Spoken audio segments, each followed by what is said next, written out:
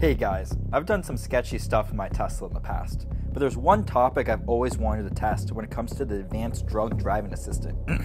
I mean, full self driving beta. You see, I've heard some wacky stories, such as one where a guy was decapitated and they failed to have paid attention to the road when they went under a semi truck. So, in today's video, I'll be putting the driver monitoring system through the ultimate stress test to see if Tesla really can detect if you're not paying attention to the road ahead.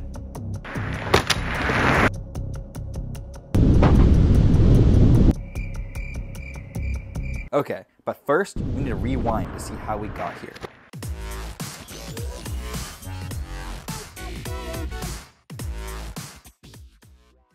A couple weeks ago, we tested to see if Tesla's full self-driving beta can stop safely for small children and dogs with catastrophic results. Afterwards, we took our test a step further to see if full self-driving beta could detect road close signs with police caution tape, which once again produced really poor results. I chose to not manually take over during any of our tests as we were on a closed road. When operating FSD beta, the driver agrees to pay constant attention to the road and be prepared to take over at any time as the system is only designed to be a level 2 driving assistant. To make sure the driver is paying constant attention to the road, Tesla incorporates a cutting-edge driver monitoring system. Any abuse of the system should result in a strike, and after five strikes, FSD will automatically be disabled. Surely NHTSA wouldn't allow Tesla to ship a level 2 system that allows the user to abuse it as level 4 or 5, right?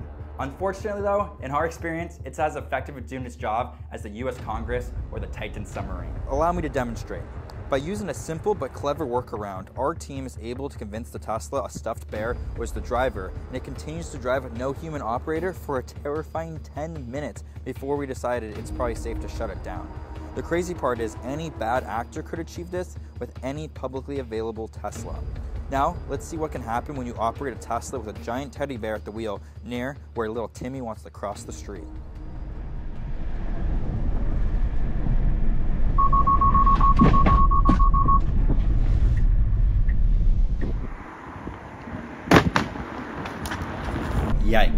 You'll also notice we hit the child twice before the Tesla starts slowing down.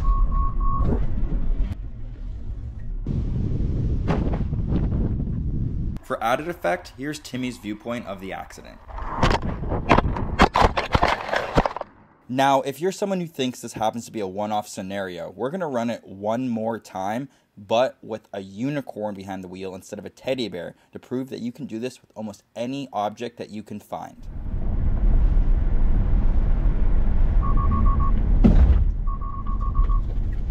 Oh dear, unicorn. Once again, the Tesla plows through a child mannequin while full self-driving beta is engaged. The most bizarre fact, though, is the driver monitoring system appears to be so bad it has no idea there's a stuffed unicorn driving the car. Now, if you're thinking Dan's team over at Green Greenhill Software manipulated the Tesla to be able to drive without a human, you could not be more wrong. To prove this point, I volunteered my personal Tesla to go for a ride, but this time with a champagne balloon at the wheel to rerun the same test to show how bad the driver monitoring system truly is.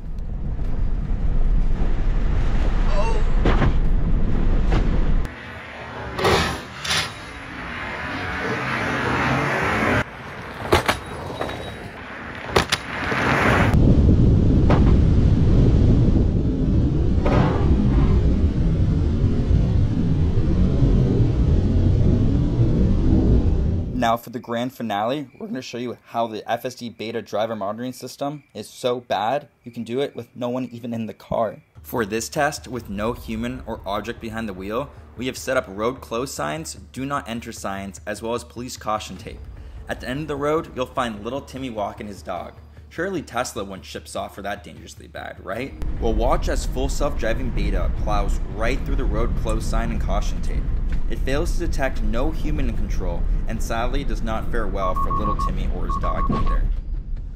On top of all that, after killing little Timmy, the Tesla continues to drive and performs a blatant hit and run.